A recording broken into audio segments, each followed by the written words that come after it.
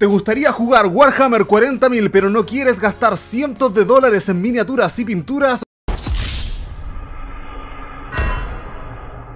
Bueno, en este video te voy a enseñar las bondades de Dawn of War Unification Mod.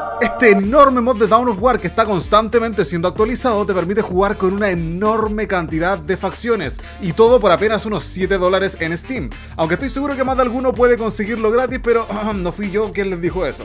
Lo primero que deben hacer es tener instalado el juego Dawn of War Soulstorm y luego instalar el mod cuyo link les voy a dejar en la descripción. Les recuerdo que el 23 de abril voy a estar sorteando este set de miniaturas y pinturas a la gente que me apoye en Patreon Muchas gracias a todos los que ya se han unido, pero les recuerdo que es el tier marine espacial que se realizará el torneo. De momento, los dos miembros actuales tienen 50-50 de llevárselo, así que únanse ya que las posibilidades siguen siendo bien altas. Dawn of War tiene distintas formas de jugar. La primera es el modo campaña, muy bonito y todo, pero en mi opinión la cantidad de facciones que tienes para elegir, a pesar de que se ve muy interesante, en realidad es muy baja. Así que hagamos un pequeño recuento de todas las facciones que están disponibles en el modo escaramuza, ya que aquí vamos a encontrar lo que en mi opinión es el modo de juego perfecto. Y tenemos la Legión Negra, los Drukari, Ángeles Oscuros, Demonios del Caos, Guardia de la Muerte, los Eldar, Hijos del Emperador, Guardia Imperial, Arlequines, Puños Imperiales, Cazadores de Demonios, Devoradores de Mundos, Krieg,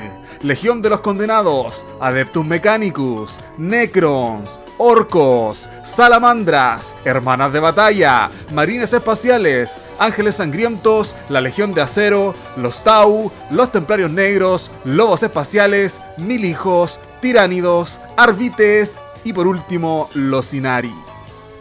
Ok, entonces lo primero que tienen que hacer es seleccionar Skirmish o Escaramuza. Les va a preguntar si es que quieren jugar el tutorial y le ponen que no. O que sí, qué sé yo, depende de ustedes. Luego seleccionan a uno de los mapas que dice Survival. Se van a Game Options y ahí tienen que fijarse donde diga Starting Locations que diga Fixed. Yo le voy a poner como opciones empezar con recursos extra para que no sea tan tedioso el early game. Seleccionamos a los ultramarines y comenzamos. Ok, lo primero que tenemos que hacer es empezar a crear rápidamente cuatro de estos generadores de energía y empezar a tomar inmediatamente todos estos puntos estratégicos con los marines espaciales scouts mientras sacamos más marines espaciales scouts para seguir tomando más de estos puntos estratégicos y así tener más requisición. Los generadores son para tener más energía, esos son los dos recursos del juego, energía y requisición. En este punto se pusieron a atacarme increíblemente rápido en el minuto 2 de partida, gente. Esto creo que es porque le puse recursos extra, lo cual significa que la inteligencia artificial también va a tener recursos extra. Recordemos que este modo de juego se trata de resistir oleadas y vamos a tener que aguantar 10 oleadas, pero no son simplemente oleadas, son 10 niveles con varias oleadas por niveles, aumentando la dificultad y aumentando la cantidad de bichos que te van a mandar. Y como pueden ver, ya me costó demasiado esta, esta primera oleada, por así decirlo, del primer nivel porque tenía solamente scouts. Menos mal que justo salieron unos marines espaciales regulares, así que los puse a defender y a tomar por aquí lo que sería otro punto de estrategia, gente, un punto estratégico. Creo que esto es una locación crítica, gente, y la locación crítica da un poquito más de recursos. La verdad es que no sé muy bien cómo funciona, creo que te permite sacar otro tipo de unidades. La cosa es que aquí volvieron a atacarme, gente, y esta es la segunda oleada del primer nivel y está bastante potente. Menos mal que aquí tenía unos cuantos flamígeros, gente, unos flamer con los eh, scouts, pero todavía no podía defenderme con los marines espaciales porque estaban tomando la locación crítica, como pueden ver. Por el flanco de arriba me estaban completamente despedazando, me mataron a todos los marines espaciales que tenía, los scouts marines espaciales que tenía, pero aquí ya se lograron desocupar los marines espaciales normales y empezaron empezaron a defenderme por fin. Salió el comandante y ya con eso me sentía un poquito más seguro. Además, estaban poniéndose a rango de las torretas de Volter pesado y esas lo estaban destrozando como querían. De momento me estaba saliendo bastante bien, fue un despertar bastante violento, claro que sí. Ahora, lo siguiente que tienen que hacer es convertir todas estas ubicaciones estratégicas en Listening Post, porque esto va a aumentar la cantidad de requisición que les van a dar, es decir, les van a ir generando cada vez más recursos. Y los que ya tienen Listening Post tienen que irlos upgradeando, gente. Ahora, lo siguiente que hice fue subir de nivel el Y empezar a darme un poquito más de lo que sería eh, capacidad para poder sacar más tropas sin quedarme con bloqueo de suministro. La siguiente oleada, más de lo mismo, me empezaron a caer por otra parte, ya tenía un poquito de las torretas y empezaron a reventarme, pero como quisieron, gente, con una cantidad increíble de infantería. Y esta infantería, como pueden ver, es capaz de destruir torretas de una manera bastante fácil. Esa torreta que está ahí arriba me la están destrozando. Y además en la parte de arriba también me están destruyendo un listening post, lo cual esto me está afectando directamente la economía, porque esos son los recursos que yo estoy sacando. Así que de momento la cosa está bastante complicada. Como pueden ver en la parte de arriba saqué marines espaciales de asalto y estos marines espaciales de asalto los saqué pensando en que me iban a caer con pura infantería y eso me iba a ayudar muchísimo realmente a eliminar la infantería, ya que los marines de asalto son a melee, pueden acortar distancias, son bastante buenos para lidiar con la infantería ligera. Mientras tanto seguí desarrollando la economía, seguí colocando torretas por todas partes, torretas por arriba, torretas por abajo, me siguieron cayendo con más y con más y con más y con más oleadas. Parece que mandaron la élite para abajo y por arriba mandaban la porquería gente, por así decirlo, pero las torretas de pero las torretas de Volter pesado que seguía colocando me sirvieron muchísimo. Empecé a avanzar un poquito de tecnología, saqué el culto máquina para poder sacar ya los primeros Dreadnoughts, para tener un poquito más eh, de tanqueo de daño, porque me seguían cayendo como pueden ver, y utilizo los marines espaciales con jetpacks bastante bien para poder acortar distancia y eliminar rápidamente a todo lo que tenga que ver con lo que es la infantería enemiga. Saqué un capellán por ahí también en ese momento. Ahora, lo que sigue es el Dreadnought. Saqué mi primer Dreadnought en estos momentos y como pueden ver, seguían cayéndome solamente con infantería. Por lo tanto, yo estaba sacando puras upgrades de infantería. Estaba sacando lanzallamas, estaba sacando Volter pesado en mis marines espaciales, estaba sacando Dreadnoughts especializados en matar infantería. Sacaba por aquí unas cuantas mejoras para tener un poquito más de poder y todo eso. Y realmente estaba bien. Pero el problema es que en ese preciso instante yo no estaba pensando con visión a futuro. Y yo pensé que solamente me iban a estar cayendo todo el rato con infantería y ese fue un error pero garrafal. Porque más adelante me empiezan a caer con vehículos y Dios mío, qué manera de pasarla mal. Pero por ahora tengo un capellán, tengo una muy buena cantidad de marines espaciales, ya tengo dos dreadnoughts como pueden ver gente y los estoy equipando de una manera un poquito variada, uno para matar infantería y el otro para matar vehículos gente. Pero un dreadnought para matar vehículos realmente no es suficiente. Ahora, a estas alturas de la partida, minuto 14, ya tengo completamente listo el camino tecnológico para empezar a sacar titanes y justo ese edificio que acabo de poner es para empezar a sacar titanes y ese era mi objetivo realmente en esta partida, poder ver los titanes que tenían estos marines espaciales, porque eso la verdad que sea bastante interesante y quería verlo in-game, porque eso no está en el juego normal y este ya 100% mod, ese es titanes, así que quería ver qué tal se ven en el juego esos titanes. Mientras tanto, como pueden ver, las oleadas me seguían cayendo y yo la verdad es que estoy bastante bien protegido, tengo una cantidad enorme de torretas, saqué este tanque que se llama Whirlwind, que sirve para poder atacar de una distancia increíblemente larga, viene a ser como el equivalente del exorcista de las hermanas de batalla, atacaba de a muy, muy, muy, muy, muy larga distancia y eso la verdad es que me beneficiaba mucho porque lo podía mantener seguro y como pueden ver por aquí el campo de batalla era un horror, gente, pura infantería muerta. Y eso me tenía como condicionado en la mente y en mi mente solamente pensaba que me iban a caer con infantería y nada más que infantería. Ahora, hacemos un salto temporal y aquí ya estoy pensando en sacar a mis titanes, pero como pueden ver los titanes cuestan 10 de suministro, gente, eso es muchísimo suministro para tener solamente 20, así que dije, ok, para poder sacar los titanes voy a tener que sacrificar algo sí o sí, porque no me alcanza, tengo 18 de 20 y tengo que limpiar un poquito, liberar un poquito de suministro, así que lo que voy a hacer va a ser pescar este pobre Dreadnought y mandarlo directamente al frente de batalla para que se sacrifique por el equipo y yo poder sacar mis titanes, así que lo mandé directamente al campo de batalla y vean lo que pasa.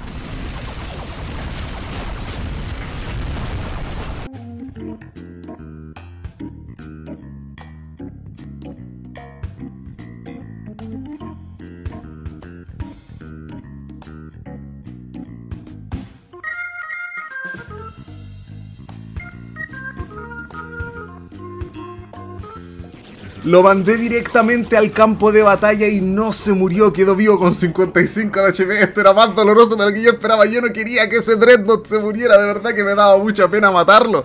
Pero tenía que hacerlo para liberar supply. Al final del día el Dreadnought se terminó muriendo. Como pueden ver en el minimapa cayó una oleada bastante gigantesca y pude recién empezar a sacar mi Titán River para poder ver eh, qué tan grande era, para poder ver qué tanto podía hacer.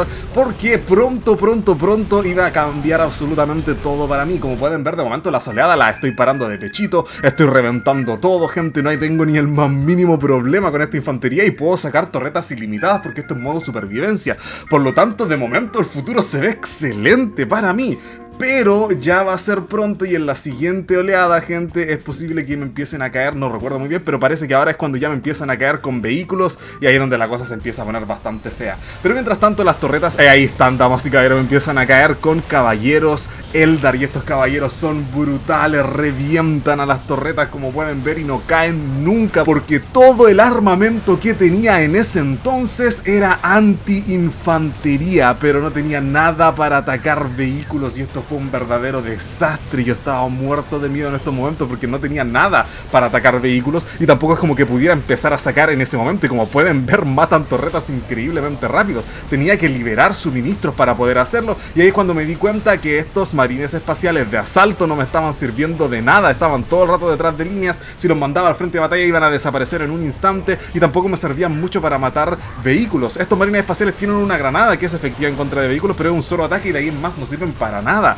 Entonces estaba muy mal, tenía que comprar algo de tiempo porque en este juego no sacas simplemente infantería y te pones a atacar inmediatamente, tienes que sacar un escuadrón de marines espaciales, llenar el escuadrón de soldados, sacarle un sargento, empezar a sacarles armas especiales, etcétera, etcétera, etcétera. No es tan fácil. El Whirlwind por ahí estaba en el frente de batalla cuando no debería haber estado. Sigo intentando sacar torretas, gente. Todavía no sale el titán. Estoy esperando a que salga la cosa porque es mi única salvación. Ya están empezando a venir con vehículos y me estoy empezando a desesperar. Sigo sacando torretas, pero de momento el tema de los vehículos como que empezó a descender un poco. Todavía estábamos en el nivel 4 y el nivel 4 de momento no es tan terrible como yo podría haber pensado anteriormente. Es más o menos tranquilito. Yo... Eh, el día de ayer yo había hecho un juego de prueba, lo hice con los puños imperiales, que ustedes saben son expertos en asedio y la verdad es que el resultado fue muy distinto, lo encontré bastante fácil, dije ok, esto va a ser súper cómodo, pero ahora lo estaba sufriendo. Y ahora como pueden ver lo que hice fue lanzar un bombardeo orbital con el maestro de capítulo, que aquí dice que es Gabriel Angelos, pero realmente es Marneus Calgar porque son ultramarines, gente. Como pueden ver, ese bombardeo orbital rompió la oleada completamente. Y ahí estaba, damas y caballeros, el Titán River gigantesco, tremendo. El, el, el bombardeo orbital destruyéndolo absolutamente todo. Y aquí dije, ok, hay posibilidades de ganar. Esto se gana, damas y caballeros. Hay patria. El emperador protege. Así que empezó a avanzar, damas y caballeros, por aquí el Titan River. Me costó muchísimo moverlo hasta el otro lado del mapa porque es gigantesco. Y como que se marea un poquito cuando hay muchos edificios entre medio. Técnicamente sí podía pasar, pero como que se mareaba un poquitito y eso fue un poquitito molesto. Como pueden ver, la tierra tiembla cuando se mueve ese titán. Ahora, nuevamente estoy con bloqueo de suministros y yo quería sacar el otro titán, así que más adelante, ya les cuento el spoiler, voy a tener que sacrificar a los demás Dreadnoughts que tengo y quizás incluso al Whirlwind. Pero eso no necesariamente a propósito, porque las oleadas que se vienen de ahora en adelante van a ser pero brutales, simplemente brutales. Coloco por aquí el titán en posición, me pongo a reparar las torretas, por alguna razón se están demorando, demasiado en crear las torretas. Mientras tanto el titán, miren cómo destruye, miren las andanadas de misiles que lanza el titán al suelo, fíjense, ¡pum! Cómo destruye gente el titán, la verdad es que fue una ayuda pero increíblemente buena, sobre todo anti-infantería. Pero todavía yo no lograba asimilar que estamos recién en el nivel 4 de las oleadas, gente, y de aquí en más la cosa se pone increíble y ridículamente cuesta arriba. El William lo intenté posicionar y todo, pero bueno, vamos a ver qué es lo que pasa mientras tanto, mientras avanza la cosita en cámara rápida. Más que nada porque resulta que aquí me dediqué simplemente a erigir unas cuantas estructuras defensivas. Realmente no era mucho lo que podía sacar en cuanto a infantería. Ya estaba al máximo de marines espaciales, ya estaba al máximo de unidades mecánicas. Tenía mis dreadnoughts y todo eso. Pero como pueden ver, estas oleadas son bestiales y me están cayendo con demasiado vehículo. Todavía tengo en la parte de atrás a los marines con jetpack que son completamente inútiles y me están ocupando simplemente espacio. Yo tenía que sacrificarlos, pero realmente no quería sacrificarlos. Me daba mucha pena, gente. Me, acuerdo, me acordaba de lo que pasó con el dreadnought que no se moría nunca y era como que, oh, no me lo puedo creer, no me lo puedo creer, ¿por qué no se muere? Todavía está matando y eso significa que fue útil durante cierto tiempo. Mientras tanto también lo que hacía bastante era abusar del bombardeo orbital. Y otra cosa que se me había olvidado fue que me puse a sacar muchísimas unidades y dejé en cola con bloqueo de suministros a otro equipo de marines con jetpack, por lo tanto el siguiente equipo de marines que salió también tenía jetpack, así que también era sacrificable y nuevamente me ocupó espacio que yo no podía disponer.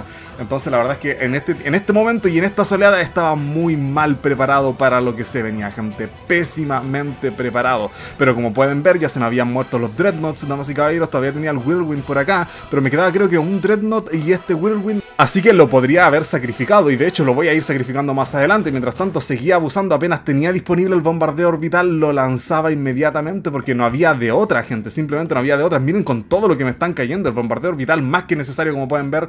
Y la verdad es que se ve bastante bonito. Y ahí es donde me matan el Whirlwind, damas y caballeros. Y cuando se muere ese Whirlwind es porque se viene lo muy, muy, muy, muy bueno. Por acá me estaban reventando la moral de los marines espaciales, gente. Esto la verdad es que fue una verdadera bestialidad. Miren la cantidad de vehículos que tenían y yo muy mal preparado. Las torretas de misiles algo hacían en contra de esos vehículos, pero mientras tanto todos los eh, equipos de marines espaciales que yo tenían estaban rompiéndoles la moral. El titán estaba muy lejos, pero aún así no parecía matar lo suficientemente rápido a todas estas vehículos con que me estaban cayendo y me estaban cayendo con vehículos tanto por arriba como por abajo y abajo no tenía nada más que una muralla de torretas y las torretas aguantan pero muy poco. Y por fin se murió el Whirlwind y ahí ya tenía por fin suministros para poder sacar ese titán Warhound. Y con dos titanes yo tenía en mi mente que podía defender fácilmente con dos titanes, o por lo menos de una manera un poquito más segura, mientras podía sacar mejores unidades. Por ejemplo, aquí yo me pongo a sacar un escuadrón de exterminadores, gente, un escuadrón de Terminators, para poder reemplazar a los Raptor que se me murieron, o mejor dicho, a los Marines con Jetpack. Sé que tengo un escuadrón acá. No, de hecho tengo los dos escuadrones. El que se me murió ni siquiera era los del Jetpack, que te estoy, pero utilizando muy mal el suministro que tengo, gente. Tengo dos escuadrones de Marines espaciales que están siendo completamente inútiles porque no están peleando porque primero son a melee y segundo no hacen nada en contra de vehículos que son el principal problema que tengo ahora mismo. Pero como pueden ver el Titan River está aguantando pero como un verdadero campeón.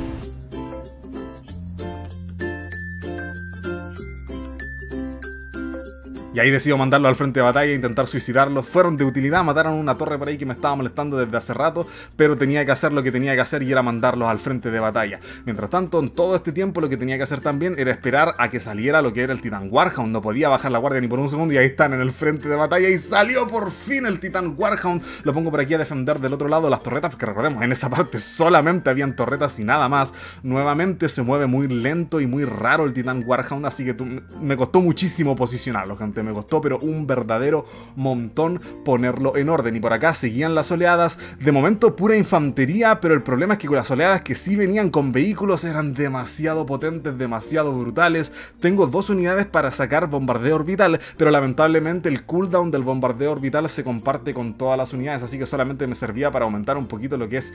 Eh, las posibilidades de dónde podía tirar el bombardeo orbital, pero realmente y técnicamente no me servía para demasiado, no era de demasiada ayuda. Así que mientras tanto simplemente aguantar oleadas como un verdadero campeón y ahí está nuevamente otra oleada con vehículos y otro bombardeo orbital para poder hacerla un poquito más llevadera y un poquito más fácil. La verdad es que el bombardeo orbital está pero excelente. Y aquí hay un pequeño clip de algo que se me ocurrió que fue juntar a los dos titanes en un solo lado para atraer quizás a la oleadas y este lo tuvo que mandar por toda la línea enemiga y justo cuando venía por aquí se vino la siguiente oleada y me lo pillaron y tuvo que salir corriendo para arriba al titán.